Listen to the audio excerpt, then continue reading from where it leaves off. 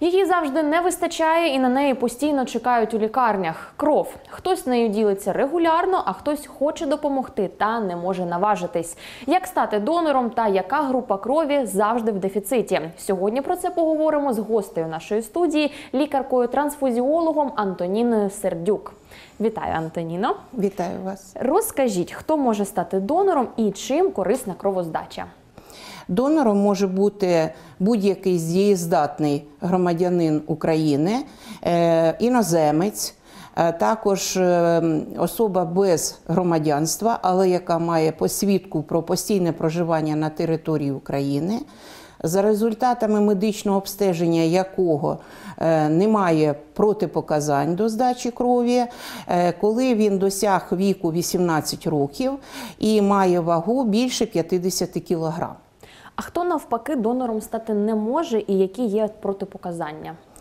Е, Протипоказань до донорства багато, е, і ці протипоказання встановлюються під час медичного обстеження, коли е, люди звертаються до здачі крові.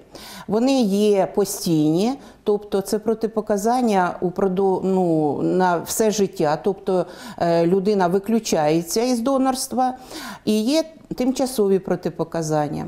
Із постійних протипоказань їх багато, але я можу назвати такі основні: це наявність у е, людей е, серйозних захворювань з боку серцево-судинної системи, е, з боку шлунково-кишкової, сечостатевої, е, з боку органів дихання, ниркової захворювання, також цукровий діабет, якщо е, людина приймає інсулін або інші якісь е, препарати е, при лікуванні ендокринних захворювань.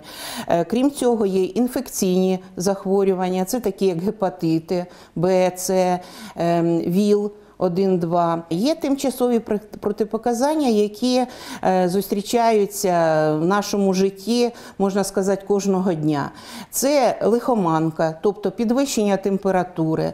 Може бути донором людина, у якої е, після двох тижнів після лихоманки стабілізувався стан, і е, він уже може бути донором. Татуювання, пірсинг, акупунктура. Раніше було через один рік після проведення цих процедур. Зараз уже змінилися терміни до 6 місяців. Тобто через 6 місяців може бути вже донором людина. Яка група крові зараз найбільш потрібна?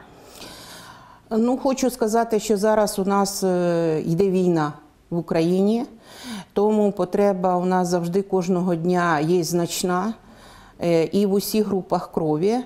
Але на сьогоднішній день більш е, потреба є у негативних групах. А розкажіть, що треба зробити людині напередодні кровоздачі? Е, Що не рекомендується? Не рекомендується прийом алкоголю і ліків, як я сказала, одноразового такого прийому ліків за 48 годин до здачі крові. Не рекомендується уже після 18 години напередодні здачі крові вживати м'ясо, рибу будь-яких сортів, е, види, різні види молочної продукції, яйця, олію, банани фініки, авокадо. А рекомендується вранці все ж таки приймати сніданок, тому що багато донорів є, звертаються е, без сніданку. Що треба донору мати при собі, і ну які це документи? Е, Коли людина виявляє бажання здати кров, вона при собі повинна мати документ, який посвідчує її особу, і копію ідентифікаційного номеру. І на завершення розкажіть, куди звертатися охочим поділитися своєю кров'ю. Е, Ми завжди запрошуємо людей звертатися в спеціалізовані установи, і якщо потрібно е, якусь додаткову інформацію, то звертатися за тими телефонами, які зараз є на екрані, і е, також можете отримувати додаткову інформацію на сайтах, які також вказані на екрані. Дуже дякую, Антоніна, що завітали до нашої студії. Дякую і вам. щиро вам бажаю побільше свідомих людей, які хочуть допомагати. Дякую. Сьогодні у студії новин відкритого з нами була Антоніна Сердюк, лікарка-трансфузіолог. Говорили про кровоздачу та алгоритм дій для донора.